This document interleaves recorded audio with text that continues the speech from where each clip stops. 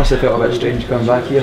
Aye, it felt very strange to be honest. Um, even just when I came in going into the away dressing room and that, it was um, it was strange. It wasn't particularly nice, but it was um, managed to get a win, so it's an important thing for us, I guess. Yeah. To put friendships aside for 90 minutes. I did, aye. Um, like I say, it's strange playing against boys that um, you played with for five and six years, boys that you're, you're close with. Uh, but you know, just got to try and put that to the back of your mind. And um, I was, we were always pretty competitive when I trained here anyway, so it was it was much the same as that. Kicked each other in training, so um, it wasn't any different to that. So you got bragging rights tonight then? Um, I have I, but I don't. There's a lot of good friends in there. You know, it's no, um, it's no great after you know getting a defeat. Whatever they'll be low. Um, it's, it's not so much anything to do with that bragging rights or anything. It was um, you know my friends. So I we won, which is great for for Albion Rovers, but that's that's about it. In terms of yourselves, obviously, you had a poor result last week. That was the perfect reaction, wasn't it? We did. Um, it was a strange game to be honest. Uh, I'd imagine our quite high possession, um, chances early doors as well. Uh, we managed to, to score a goal, uh, a great goal, a great header, and I will still have chances as well. And the second goal maybe maybe took a wee bit of the momentum because they still had chances at, at 1 0. Um, they were playing some good stuff as well.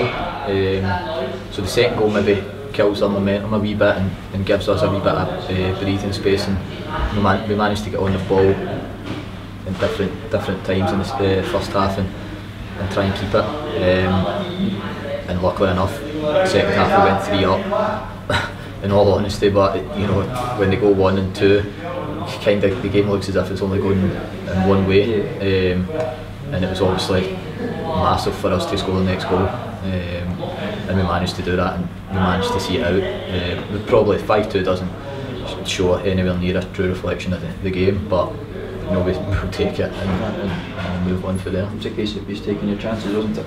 It was, it was. Um, you know, the, first one's not even a chance. In fact, the first two goals aren't particularly you know, great chances. It's the first header's, you know, it's a great header for Connor.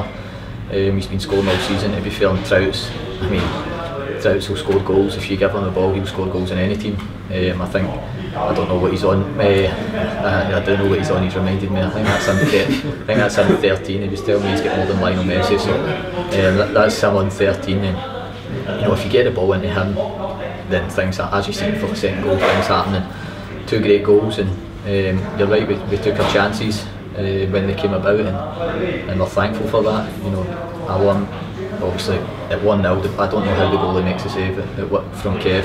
Um, it's an unbelievable save, unbelievable, unbelievable save. Um, so these are the wee things that you know turn in our favour and, and help us get the victory. To be fair. Just hope to kick on then. We will. Um, you know, we need to show, replicate some of that form at home.